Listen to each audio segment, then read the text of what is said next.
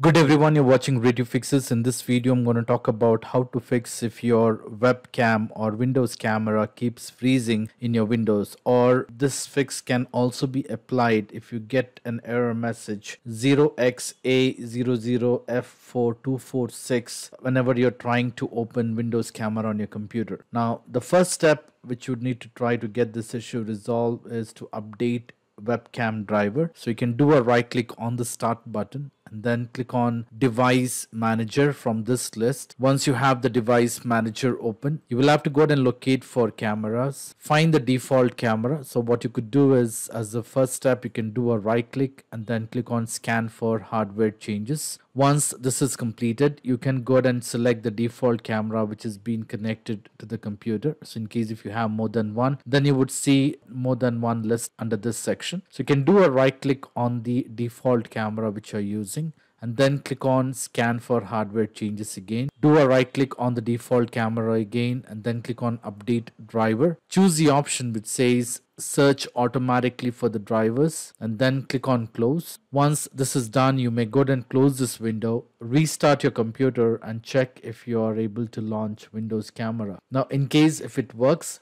well and good you don't have to try the next step now the second method is to go ahead and edit the windows registry now before proceeding with the registry modification i strongly recommend you to create a backup of the registry on your device now to modify the registry what you will have to do is you will have to do a right click on the start button and then click on run in the run window you may go and type reg edit and then click on ok in case if you get a user access control prompt, you may click on yes or continue on the screen. Once you have the registry editor open, it would display in this structure. So once your registry key is in this structure, you will have to go and expand HKey local machine by clicking on this arrow. Once you're on the HKey local machine, you will have to go and expand software and then locate for Microsoft and expand Microsoft. Under Microsoft, you will have to go ahead and locate for Windows Media Foundation. You will have to scroll down. It would be in alphabetical order. Expand Windows Media Foundation. Under this, you will have to go ahead and select platform. Now once you have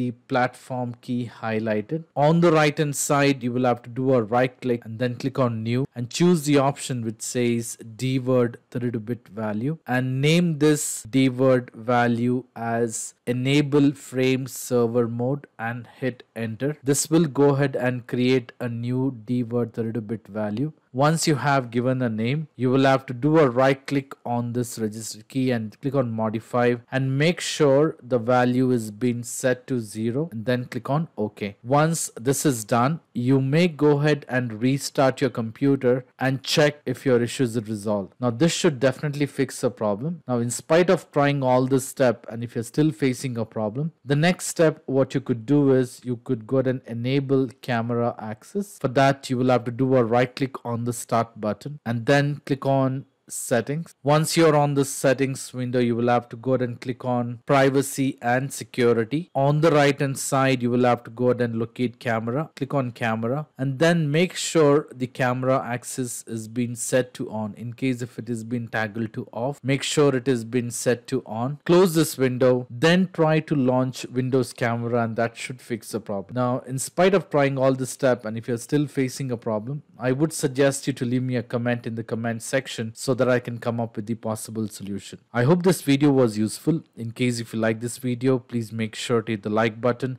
and do not forget to subscribe to my channel. Thank you. Have a great day.